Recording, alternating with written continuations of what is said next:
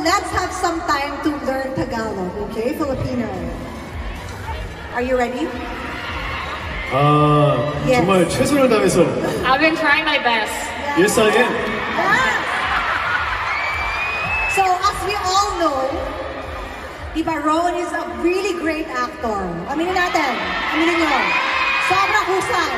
Sobrang husay, diba? Mahusay yan.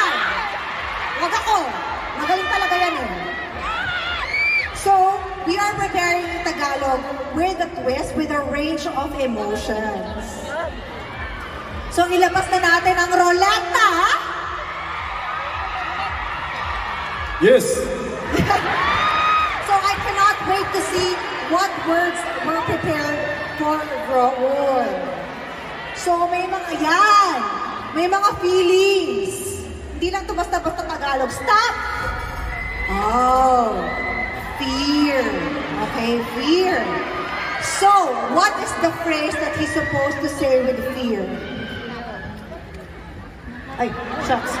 Nakakakaba. Ang hirap. Nakakakaba naman yung chika mo, Beshi. Kaya today? Okay, nakakakaba naman ang chika mo, Beshi. So basically, you say it, for example, like, you know, there's like COVID situation and then the the cases are, chika ko. The cases are going up. Yes, parang, ay, medyo nakakakabayan.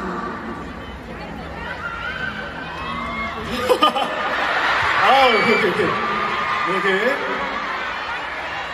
Nakakakaba naman yung chika mo, boss. Hey! Saglit, saglit! Saglit, saglit, saglit! Saglit, saglit! Happy na ba kayo doon?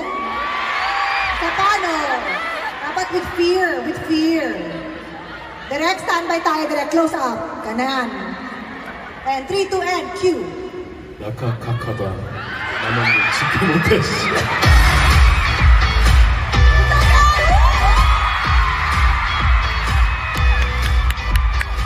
Ayan. Good job, good job. Pili ko pwede mag-artista. Diba? Direct, pasok, pasok na ba? Pwede na ba? Okay, next uh, emotion.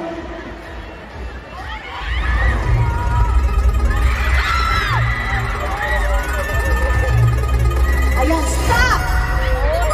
Happiness! Happiness.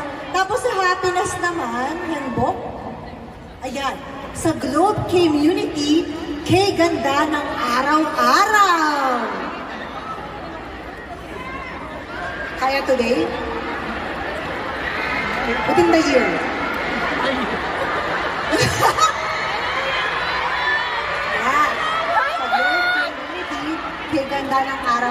Sa Globe Community, kay ganda ng araw-araw.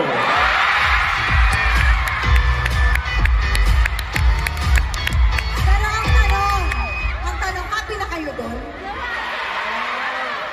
One more daw. One more daw. Happier, happier. Dapat happier. Okay. And 3, 2, and cue. Sa Globe Community, kay gandaan, araw, araw.